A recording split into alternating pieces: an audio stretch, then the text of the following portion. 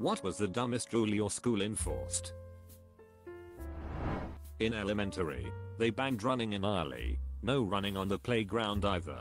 They also banned all ball sports, and would take your ball if you took it in from home, and they would put it in the gym cupboard to be used during PE class physical education.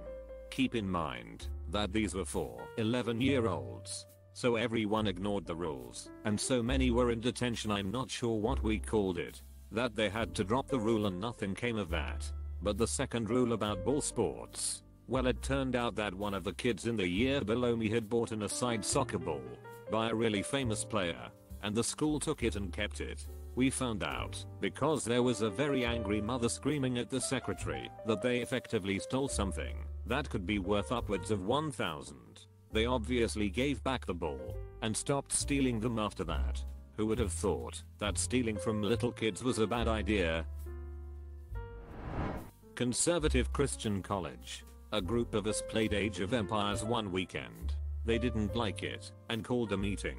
Everyone involved got misdemeanors on their records. There was nothing in the handbook about it being against the rules. The only person that didn't get any punishment was the son of the president, even though he was just as involved as the rest of us. Was quite interesting explaining the write up on my record when I transferred. You got a misdemeanor for what? Edit they made it a rule after the fact, and did this several other times with things such as nail polish or radio control helicopters. Sounds like a bunch of pathetic adults who have no real power in their lives, so they have to conjure it up over some young students.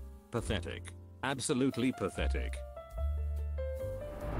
School added thumbprint scanners at gates of school which counted as registration needless to say I would just walk to school scan my thumb and walk back home with them none the wiser was a great few months until they noticed. In my freshman year of high school we had a terrible vandalism problem. The bathrooms would be broken in various ways almost constantly. In a stroke of pure genius, the staff decided that any bathroom that was vandalized would be closed for the week on first offense, the quarter for second, and permanently on the third offense. They took back the rule after closing every bathroom on day 1 locked bathroom doors in the period after lunch. You should have gone at lunch. Also banned duct tape accessories back when that was a trend. They said it was gang activity. We weren't allowed to play tag football at lunch. Only frisbee. When I asked the principal what the difference was, he responded with a sarcastic tone. A football is round and a frisbee is a flat disc.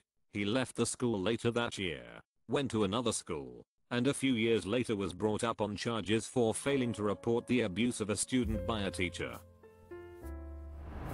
Took all the doors off the men's room bathroom stalls because of vandalism for two months. The boys in our school were not allowed to have hair that exceeded the width of a finger. Our principal used to check that by running her fingers through their hair.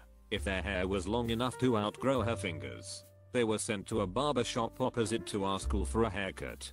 Dumb and weird. My school banned backpacks at one point. To protest boys just didn't bring anything with them to class and girl brought really big purses. One of the funnier things that happened because of it was an interaction between my friend and a teacher. Teacher where's your book? Friend in my backpack. Teacher and where is that? Friend at home. Prom was a mandatory lockdown for the night in order to avoid students going to parties after prom. Prom was held at various house parties across town instead. In 6th grade they switched out all student chairs for large rubber stability balls. There was a strict no bouncing rule. It was a disaster. Editors was in Arizona in the late 90s for those asking. The idea was to promote better posture. This wouldn't work with any age group let alone 6th graders. No backpacks to class, but purses were allowed. Girls started carrying around purses big enough to be considered a backpack. Guys got pissed started carrying purses too. I'd wear my backpack on my front and call it a front pack. A really big fanny pack. Circa 1994, 1997. No hugging. Like at all. First offense was a write-up. Second was detention. Third was in school suspension. You couldn't wear any kind of head items that were gang colors red or blue. This included hairbands, scrunches, beads in your hair, ribbons anything. I got in trouble for wearing a blue hairband with white polka dots. We had to wear belts. Someone snitched that people weren't wearing belts under their sweaters. And they actually checked. And a bunch of people got detentions. Stupid. No touching the walls. They restored a building with historic value using, among other things, period appropriate paints. They then opened the planned primary school there and proceeded to try to get children to respect the restoration work so we had a few years of benches in the hallways, being 10 centimeters from the wall and children being reprimanded for leaning against the wall before the faculty gave up. My high school mascot was Daniel Boone holding a musket. A kid wore a Guns N' Roses shirt to school and was told he had to change shirts because of the pistols on the shirt. He pointed out the hypocrisy of the school mascot and they changed everything. The mascot was switched to holding a flagpole instead. Every instance of the mascot was changed from the multiple signs outside and around the school to the giant picture in the middle of our basketball stadium. Holden, you're a ducking legend for this. No jackets. They think we may hide things like phones or bombs there. No brand name anything in the lunchroom. So you couldn't bring a small snack pack of say, Doritos, in your lunch it had to be in a clear plastic sandwich bag. Also no food or beverage allowed in class this included bottled water. As an adult I now know the terrible headaches and migraines I suffered in my teen years were caused by dehydration and not being allowed to drink water during the day unless from the nasty water fountain. Can't wear too many matching shirts because you could be a gang. This was in regards to a kid with cancer wanting to make a bunch of shirts. My high school was in Butt Duck, Nebraska. American schools seem to be obsessed with the idea of gangs. Involved in a fight. Same punishment regardless of fault and this led to more dangerous fights due to everyone just going for it. Saw people use chairs, cricket bats and anything just to hand. Getting expelled from the school was really hard as it was the last chance school in the area and after that it was the special reform school.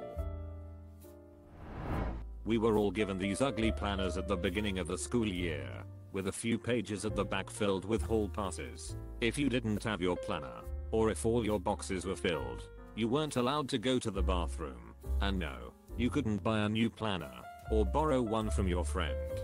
The only excuse you had was if you had a doctor's note, but no doctor is going to give a note for an upset stomach caused by the school lunch. They banned wristwatches, no one knows what the reason was. That's when you go full Flavor Flav and wear a timepiece around your neck instead. In grade 8, we were banned from standing in circles at recess because of potential scandalous activity going on in the middle. We stood in squares instead. For a while in my school groups of kids would stand in circles shouting fight, fight, fight, until a teacher came to break up the non-existent fight. God we were assholes. My high school banned shirts that had the cover of Rush's album Signals, an album popular at the time, which features an image of a dog sniffing a fire hydrant. They considered it scatological because the dog was about to pee on it. This struck the entire student body as extremely stupid, and roughly one, two of the student body picked a day to wear that shirt. We won. A girl and a boy couldn't sit together. The school employed disciplinarians to roam around the school and monitor this activity. If found, you will get a reprimand. If found repeating the offense, you get sent to the principal office and if continuing, then eventually escalated to the parents etc.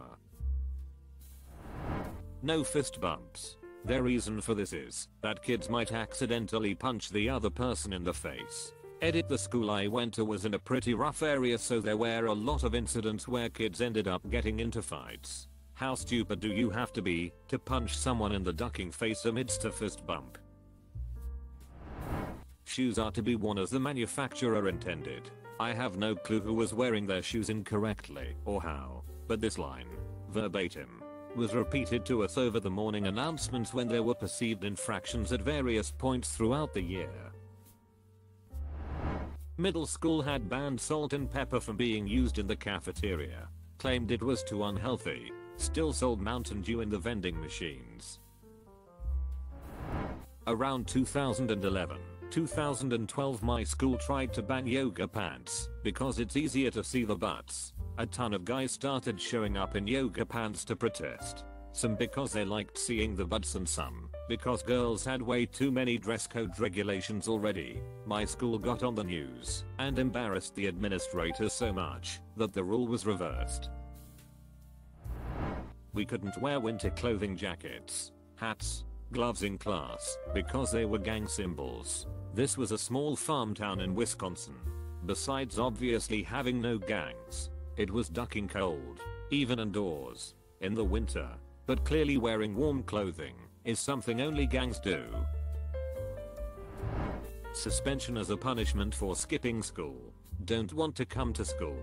Well now you can't. Until next week. Edit and no tank tops in a desert climate. Because shoulders are too sexy for school. Our school banned hugging. Because it was erotic. As you can imagine. The boys at school started giving each other very sensual high fives for the rest of the year. They banned hats, because hats can be used to signify gang colors. The only major crime group in our area was the Hex Angels and they certainly weren't having people wear hats for children to signify their allegiance. It was so bad a few years. After I graduated I came back to volunteer as a chaperone for a school trip as a favor for my favorite teacher. The principal saw me wearing a beanie from across school he literally sprinted half a mile to chase me down and tell me to take off the hat. When I told him I wasn't a student and didn't have follow the dress code he said either take off the hat, leave or he'd call the cops. It wasn't the actual day of the trip, just had to show up to get the itinerary and stuff, so I just said, duck you, I'm out, idiots. Oblivion guards be like. No playing on the mini golf course.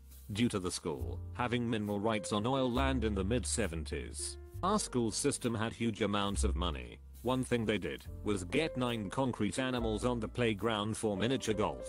These looked like a lot of fun to play on for kids. And they were concrete, so they were indestructible. They took up one. Three of the absolute center of the playground. We could not touch them, play on them, or get anywhere near them. In pay we broke out the putters once in all of grade school. A few years later they had the high school seniors take them out with sledgehammers. Probably a stupid liability issue. Kids fall off stuff. No backpacks in the halls. Oh yeah. Because carrying all of our books between classes was a great ducking idea. Plus hardly any time between classes. To exchange books meant carrying multiple classes things at once. Edit looks like this is the norm for quite a few people and school districts. Doesn't make the rule any less stupid. But to be fair it depends on your school. My middle school was 8 or so classes a day with 3 minutes between classes in a large school, where classes could be far away from your locker. My high school was 4 classes and a much smaller building. But my friend's high school was similar to my middle school situation. Consider subscribing if you enjoyed this video, and if you want to see more of Reddit Universe.